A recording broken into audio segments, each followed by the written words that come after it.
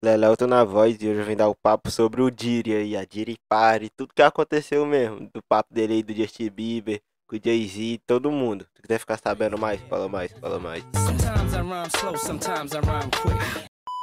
Isso aí mesmo, tropa. Eu trouxe aí o vídeo, né, dele sendo preso. Vídeo muito curto, até porque eu não dou nem muito valor a esse elemento aí, esse cara aí, não gosto muito dele não. Então eu só queria notificar, né, é, mostrar aí pra vocês a prisão dele, até porque muita gente pediu. Também teve o corre dos mil olhos de bebê, que pegaram na mansão dele, os mil olhos de bebê, e muita gente perguntou pra o que era, né. É meio óbvio, né, justamente para as coisas que ele fazia aí, escondido com, com os outros rappers. E essas coisas escondidas que ele fazia é coisa de chola, como eu falei nesse vídeo. O era o real chola, o chola master mesmo aí do rap, do jogo do rap. Todo mundo já falava isso desde antes, desde o começo da carreira dele, dos anos 90. O Tupac, o 50 Cent, já falava que ele era chola mesmo. E ninguém nunca acreditava tanto nisso. Mas, como eu falei, é, não é de agora, é porque isso aí tá repercutindo agora de ser verdade. Mas já faz um tempo que todo mundo sabe que é verdade. Desde o começo desse ano agora, praticamente, ele já tava tendo envolvimento, várias provas disso daí, de que ele realmente fazia essas festas tendo prostituição. E tipo assim, é, é muita coisa nada a ver essas festas dele aí. Até tráfico, tá ligado? Tráfico humano, muita parada errada mesmo assim. Tem gente até associando aos Illuminati. Tá um negócio muito nada a ver isso daí. Muito nada a ver. E realmente, se você for ver, tem coisa de gente grande no meio. Tem gente do da indústria aí, de Hollywood, a indústria em geral, tá no meio disso do lado do Diri. Tava nessas festas presente. Inclusive nessas festas aí, do Diri, não podia nem levar celular pra não filmar nada. Todo mundo tinha o celular confiscado, não podia levar celular. E vários famosos ia. É Jay-Z, tá ligado? O negócio aí do Jay-Z da Beyoncé tá apoiando ele nisso. Muita gente diz que eles são coitados, mas não dá pra saber. Outros manos já começaram a explanar. 50 Cent, né? Como eu falei, sempre explanava e só falou que veio à tona na verdade. Kanye West aí também sempre. Aí tá todo mundo falando agora, mas o mano sempre falava. Fora também vários possíveis envolvimentos na morte de muita gente. Até Michael Jackson, é o Big, né?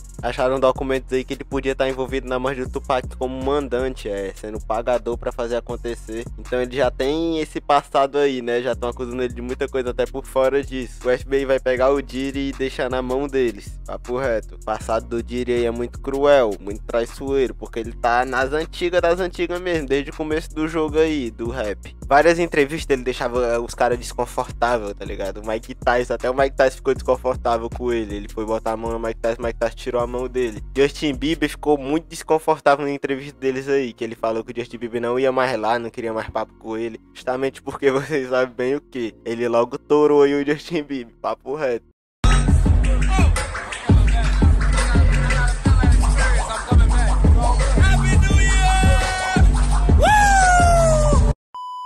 Um mais chola que o outro. Esses caras, o Diri é o chola aí que, tipo assim, ele praticamente entra na mente dos caras pros caras fazer isso. Mas se os caras deixam, né? Porque estão aí no meio dele. O Justin Bieber ficou meio arrependido disso daí, pelo que eu vi. Eu não tô falando assim uma coisa de certeza, pra depois não vir gente nos comentários falando, ai, isso aí é mentira e tal. Por isso que eu tô levando mais no lado cômico aqui. Até porque eu tô trazendo esse vídeo aqui só pra explicar a vocês. Até como eu falei, eu não dou nem muito valor a esse cara aí, esse Diri. Pra mim, o que tá acontecendo com ele aí é pouco. Tem que prender ele mais ainda. E ele só foi ser preso agora, como eu falei, vai, é tempo, faz é tempo isso daí já, falando das mesmas coisas. Prostituição, tráfico humano, extorsão, só coisa assim. Vários memes, como eu falei no Diri. A própria festa do Diri virou um meme, falando que se o Diri te convidar pra uma festa, não vá, negue a todo custo, negue. My nigga just came back from one of the Diddy parties, Shan. You should have been there.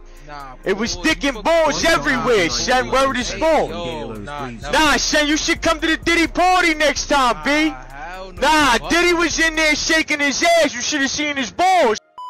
Então não vá pra Diri Party. Eu não vou meter o nome aqui pra nego não depois ficar falando coisa no comentário de que esse cara não tava. Mas a gente sabe muito bem que a maior parte da indústria aí, participou sim dessas festas. Ele também tentava assinar vários manos da, pra entrar pra gravadora dele. A maioria negava já sabendo disso daí, suspeitando, mas algum aceitava. Eu não tinha armanha não. Vocês aí tinham armanha de assinar com o Diri. E se liga pra vocês verem o nível de esquisitice desse Diri aí. Ele já chegou a adotar uma menina de 18 anos. Assim, eu não sei se foi legalmente, mas pelo menos ele adotou ela, pegou ela pra criar. E dá pra ver se a cara dele, eles explicando, é um negócio muito estranho, tá ligado? Muito nada a ver. What's your last name? Ava Combs. What's your other last name? Ava Baroni. Eva Baroni Combs? Yes, it's, it was breaking news.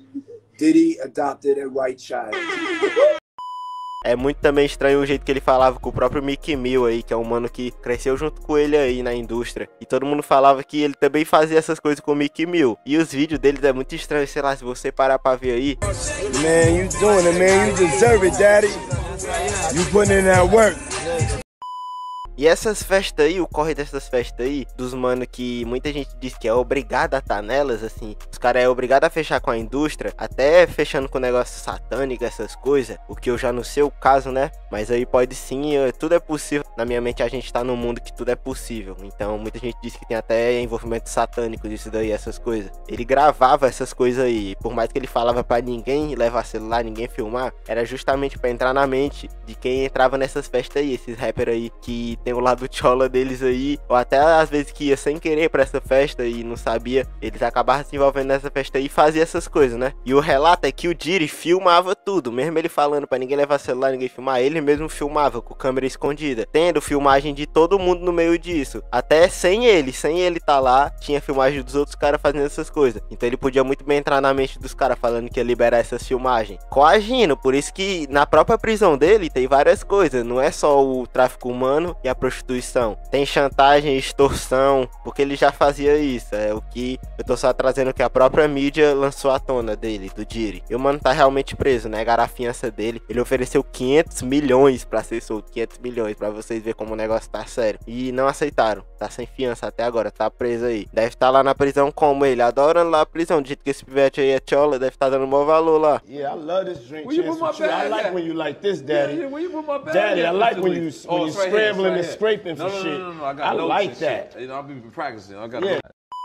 Então tudo de ruim que aconteceu com o Diri aí é pouco. 50 Cent tá achando é bom, rindo que só dessa parada aí do Diri. Muita gente falando que ele vai sim sair. E eu acredito que ele vai sim sair daqui a um tempo. Uma hora vão aceitar a fiança dele. Ele vai lançar a fiança aí, sei lá, de 1 bilhão, 800 mil. Aí vão pegar. Vão considerar um trato feito. Eles só negaram essa primeira justamente para ele botar mais dinheiro, com certeza. Antigamente tava do mesmo jeito, o FBI tava caçando ele, nunca achava ele, nunca conseguia pegar ele. Ele postava até vários vídeos é, no avião particular, longe, como se estivesse fugindo do FBI. E realmente meio que ele tava. O FBI não tava conseguindo achar ele, tava direto desaparecendo. E ele é um mano que tem muito dinheiro, muito dinheiro. O mano ofereceu uma fiança de 500 milhões. Vocês acham que ele não tem dinheiro? E é 500 milhões de dólares, meu mano. Vocês aí devem às vezes pensar até com a cabeça brasileira, mas esses mano aí pagam em dólar. Querendo ou não, o dólar é muito valorizado mundialmente. Então é uma moeda que vale muito dinheiro. 500 mil dólares é muito dinheiro, tá ligado? É muito dinheiro até lá, mesmo que eles usem dólar. É isso daí mesmo. é, Eu decidi resumir aqui, trazer o resumo do resumo, né, pra vocês do que tava realmente acontecendo. Antes, muito antigamente, isso já não é de hoje. Até muita gente diz que o Diri tem dedo na morte do Tupac, na morte de outros manos. E às vezes pode até ter, às vezes pode sim isso aí acontecer. Como eu falei, ele pode até estar tá servindo até de bode expiatório, deve ter mais gente acima disso, muita mais gente acima do Diri. Mas ele que vai ser o focado agora. Até porque ele dá a entender isso. Vários vídeos dele aí, os caras estão mostrando agora. O Diri já virou um meme total, já é um meme total, o Diri. Maior chola da indústria. E ainda fazia essas paradas, essas Diri parei que era um corre assim. Na minha opinião, pode até realmente ser satânica essas porra aí, porque é um negócio muito nada a ver, tá ligado? Muita gente diz que é tudo real, essas coisas estão acusando ele, até tráfico humano. Então no final, tudo de ruim aí pro Diri aí ainda é pouco. E esse vídeo é um resumo total, tá ligado? Um resumo total pra vocês, como eu falei. Eu não vou estar tá estendendo muito esse assunto, mas esse vídeo todinho aqui foi um resumo de tudo praticamente. Se tiver mais coisas, podem comentar aí, né? Eu posso ter esquecido muita coisa. Sou uma pessoa muito esquecida, é mais pra caso assim do Diri, tá ligado? Sei lá. Então se tu gostou do vídeo, meu mano, já deixa o like aí, ó. Tá por reto mesmo. E se inscreva, meu mano. Se inscreva que eu tô sempre atendendo aqui os pedidos de vocês. E comentem que eu tô sempre vendo os comentários. Até porque se eu esquecer de alguma coisa, pode comentar aí pros manos aí verem. E é isso, é isso. É nós, tamo junto, tamo junto.